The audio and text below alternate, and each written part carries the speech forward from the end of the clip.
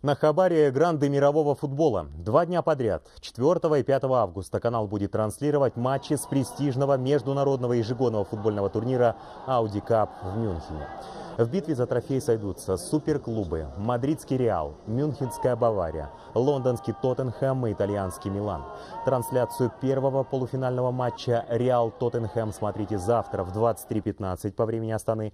А в час 15 ночи вас ждет трансляция матча Бавария-Милан.